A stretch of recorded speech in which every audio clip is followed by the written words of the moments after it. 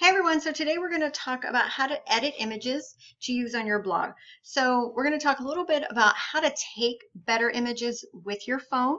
Um, you don't really need like a super expensive digital camera um, to take you know, really great pictures to use on Instagram or for your blog images um, or for your Pinterest templates and so forth.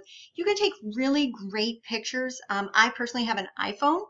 Um, so I'm just going to show you some little hacks on how to take better images. And then for the images that you get that might not be the best, how to kind of edit them with some free software. So first, I am going to um, cast my screen here.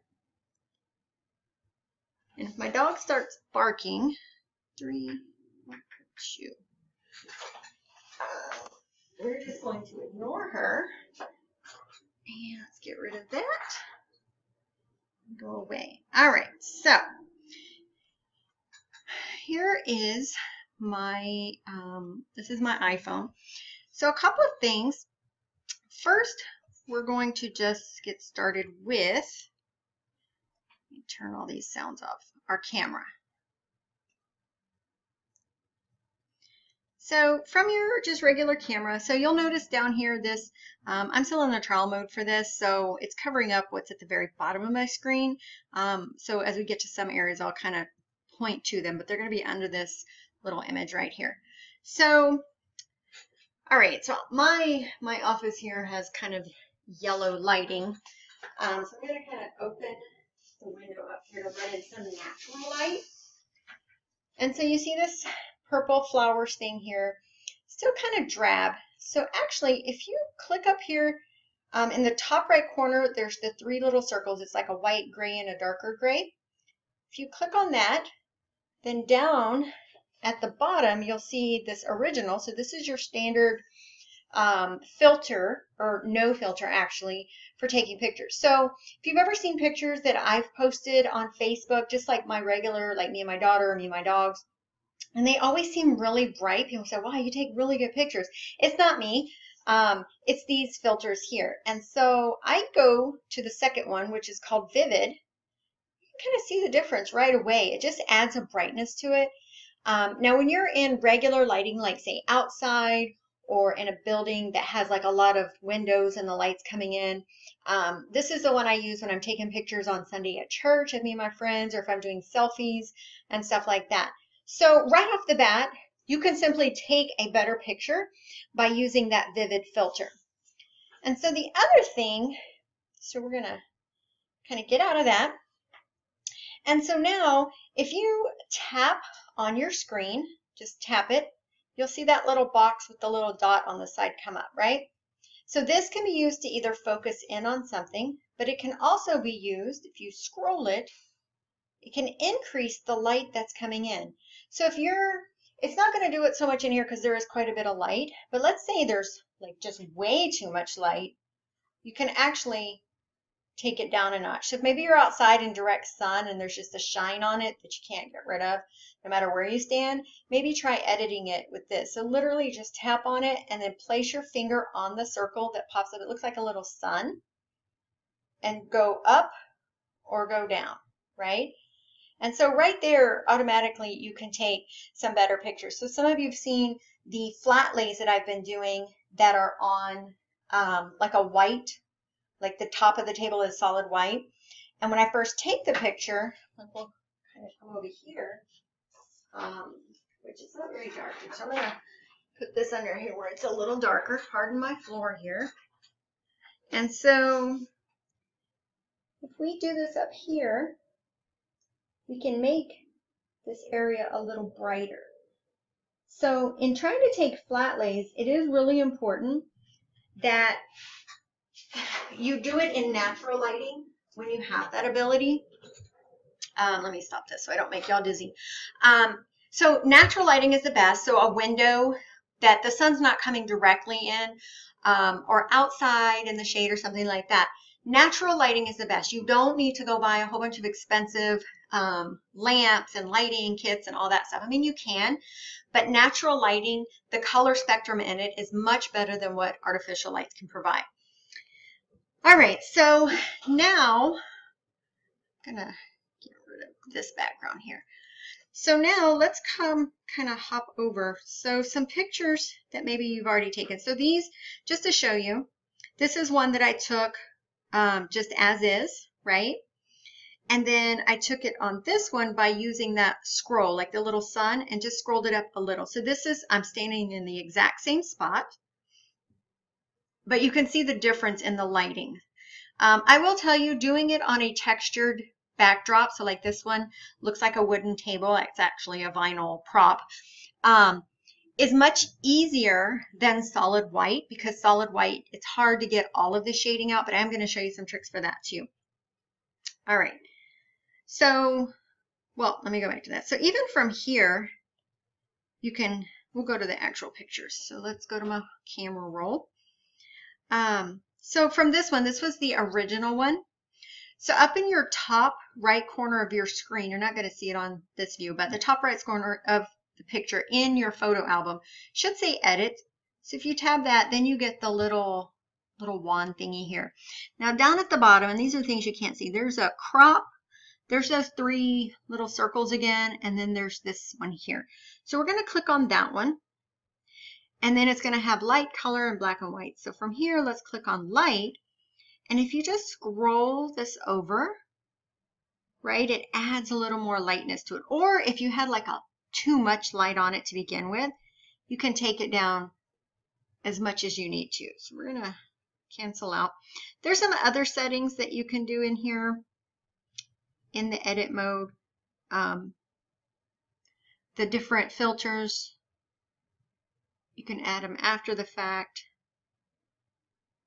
That's vivid right there. That's a vivid warm, so if you want to add a little kind of a brown tint to it. Um, blue. And so those are some different ways that you can just play around with the different images. And so these are these actually not just for like the images that you take yourself.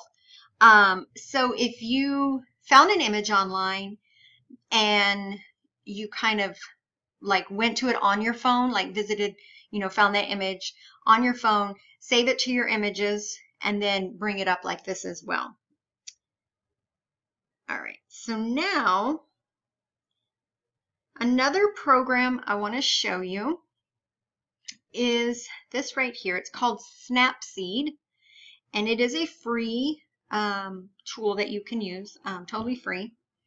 So we're going to open this up and open from device. Go to my photo. So this is where some of these ones that had, like if you take, let me find one here that's I take a lot of pictures, y'all. So let's maybe try this one. So in here, you see it has all this dark shading around the edge. So what we're going to do, you're going to click, okay, there's two things. There's looks and there's tools. So first we're going to click on looks. So these actually are some filters, the same as that you have on your regular camera. Um, so I'm just going to click on pop. So it just kind of makes it a little brighter. You can try each of these.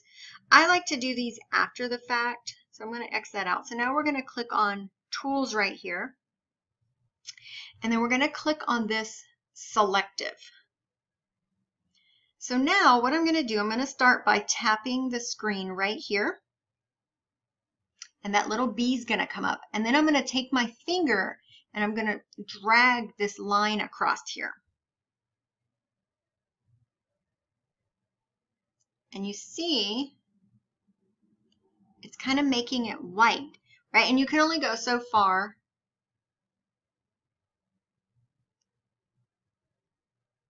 So we'll hit the check mark and then we're going to do it again. Now I'm going to get closer to the corner, right? and drag it out the rest of the way. So all the images, white is a really hard color to capture without any um, shadowing or anything else in it. Um, so this is a way to clean up the white space if you're trying to do a white backdrop um, for your flat lays. So again, we'll hit tools, come over here to this corner, do the same thing, clean it up. And basically we'll do that all the way around.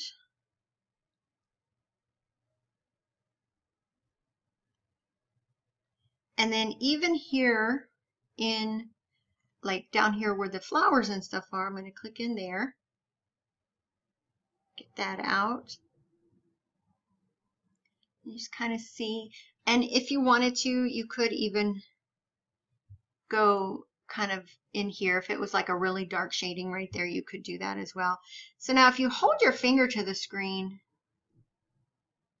it actually, you can move it and it highlights it to where the X, you can get it exactly where you need it. So let's say I wanted to get that shadow right there and then clean that up too. So now you have a picture with a whiter backdrop. So now if you wanted to go back over to the look filters and maybe do bright, that's too bright. Um, let's go back to pop. So that's kind of nice, clear, crisp. Um, and so you can do this. I'm going to go ahead and save that. And then I'm going to hit export. And then I'm going to hit export again, which is the very bottom one. And then it'll save it as a new image so that the original is still there. Um, but it'll save a new image now to my camera roll. All right, so now we're going to open up another one. And this is one with more of a textured background. And so for this, basically, it's just going to clean it up a little. Um, so maybe up here, kind of brighten that. Maybe right there inside the flowers to make it a little brighter.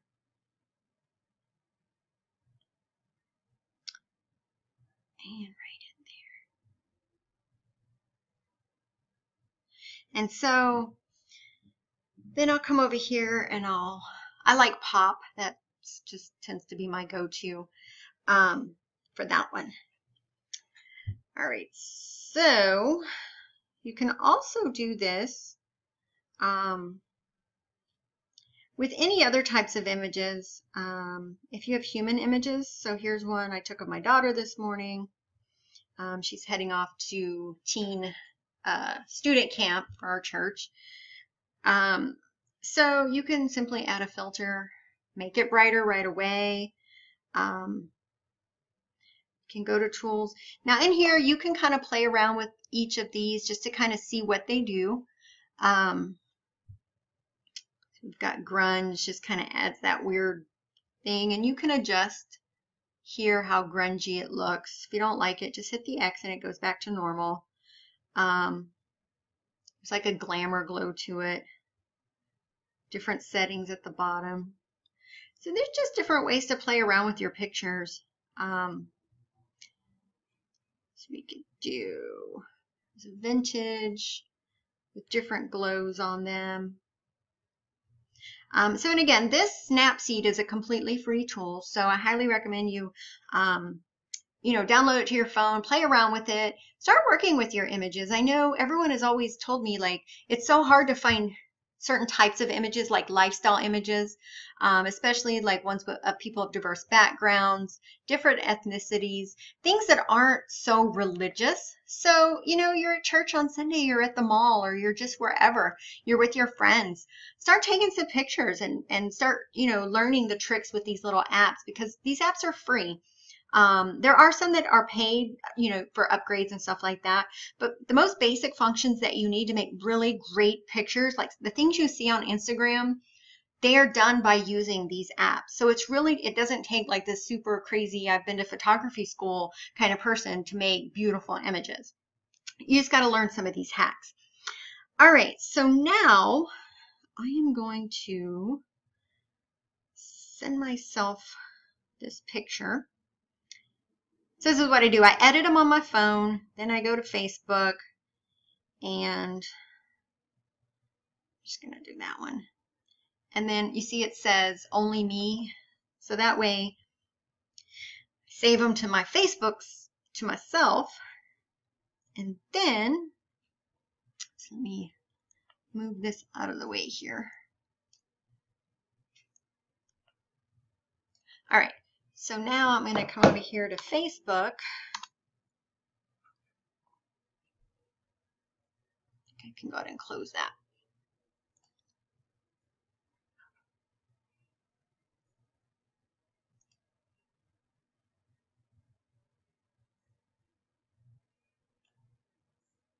And then open, open, open. And then I'll just right click and save these to my computer. I have a graphics file here somewhere. And I'm going to do this one. And one more that I added the filter to. Okay. So now I can close out Facebook. All right, so now we're going to upload those pictures.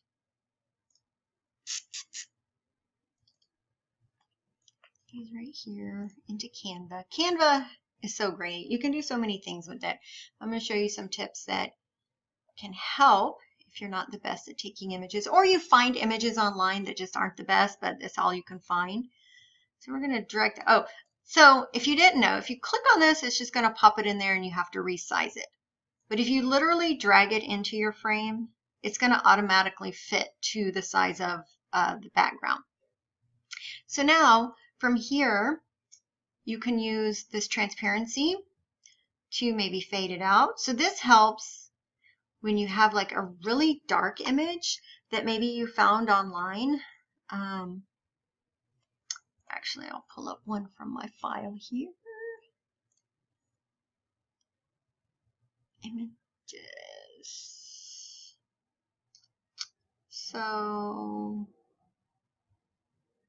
this one was pretty, but it was kind of dark.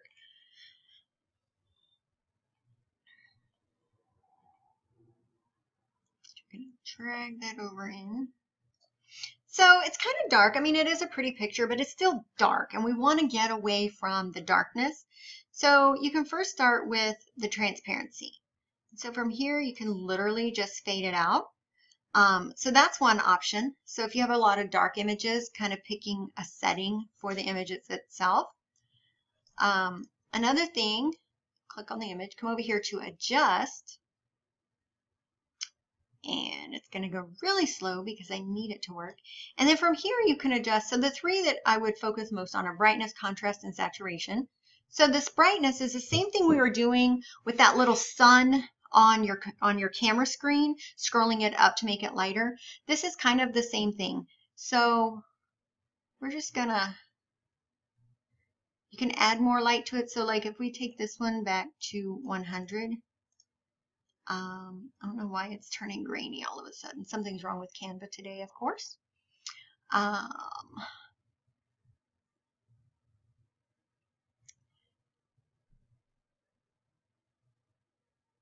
all right, so it looks like we're not going to get a Canva tutorial in today. So I'll have to save this one for another lesson when Canva decides it wants to act um, appropriately. And yeah, it's not responding now. So anyway, um, so those were just some helpful tips on taking better images. Um, you can see some of the ones that I've done here. Let me go back home. I had to close that other window. Um, doing your overlays like on this one and making your darkness like doing the transparency on the color overlay, not just the image itself. Um, here's some other ones. Here's one that I did to help uh, one of our students.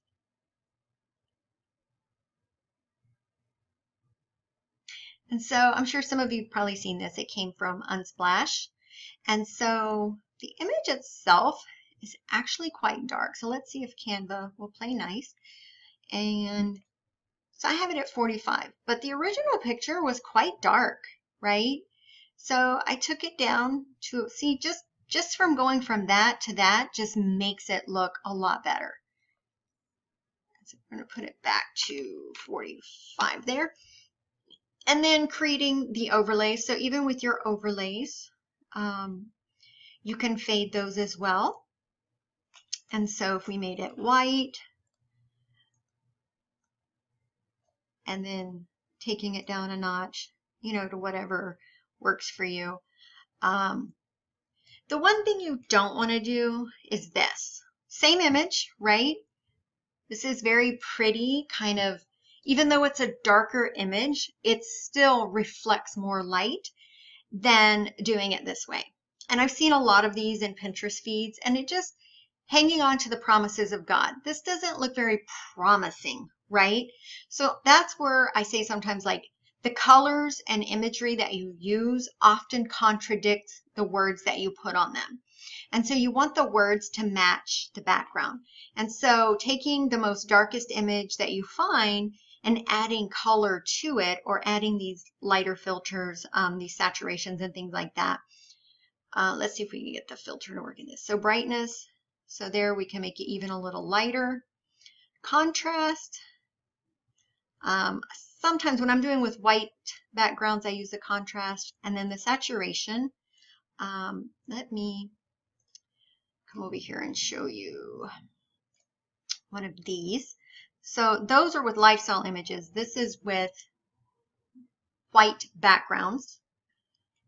Um, so on here you can see I have adjusted my, so originally, let's see, 14 and 33. So we're going to go back to 0 and 0, right? So I didn't edit these in Snapseed.